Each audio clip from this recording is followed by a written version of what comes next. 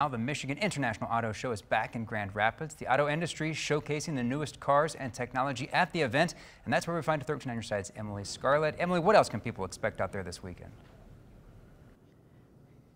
Hey, Jay, good morning. Well, we are joined by one of the event organizers, Diana Stamfler, to tell us all about what families can expect as they come out over the next several days once doors open shortly. We've been talking a lot about Electric Avenue. We're going to get to that shortly, Diana. But what are some of the other fun highlights people can expect? Well, you know, this really is a family friendly event. We want kids to be excited about the automotive industry here in Michigan so they can come in and do a kids ride and drive, get behind the wheel. There's a cute little BMW back there they can take a couple of loops.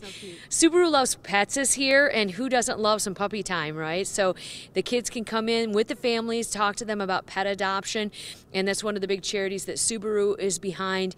Gilmore Car Museum was a, was here with a collection of vintage vehicles, and then if you want to dream big, we have our exotic cars. So if you're, you know, your Lamborghini isn't fancy enough, and you want to hear about how to dress it up a little bit more, the folks at Label Motorsports can talk to you about making that shine even more than it already does. Excellent stuff, Diana. And of course, really, when you talk about vehicles these days, electric vehicles, absolutely top of mind. And we are standing on what you all are calling Electric Avenue now, showing us really the evolution of electric vehicles. Absolutely. You know, um, the last few years, we've started to see that increase in hybrids and electrics.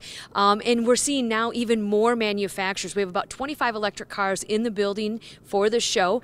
But as you can see here, we've now got um, uh, Volkswagen is in it. I mean, can you think about an electric Maserati? I, I mean, that is uh, amazing. We've got Audi here.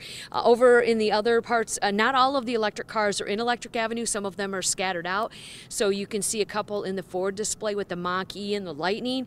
Uh, BMW's got four different electric cars on display. I was checking out the Cadillac one not too long ago. The Cadillac Lyriq. I mean, if you're into that commercial that I am into, that car is something special to check out. So it's a beautiful car. But Diana, really really quickly, we mentioned this electric car uh, minutes ago. I know people wondering, they didn't believe me. They didn't believe it was electric, but it says it there on the car. Tell us more about this one. Well, this is one of the items from the Gilmore Car Museum, 1980 vehicle. Um, you couldn't take a lot of friends out in this one, but you know, it really again shows the evolution of, of, of electric vehicles, of car design in general, and it really is, you know, a conversation starter. Yeah, we have come a long way. We're going to wrap up here shortly, but you did want to mention there's a special here the first couple of days of the auto show. Absolutely. So one of our displays is also for first responders. So you can see an ambulance and some police cars. And on Friday and Saturday, those first responders are admitted free. Our thank you to them. Absolutely. Excellent stuff. Thank you so much for being with us this morning. I'll send it back to you all. Love the look of that tiny little clown car that you say is electric. I want to know how much I can get that for. We're in the market for a new vehicle.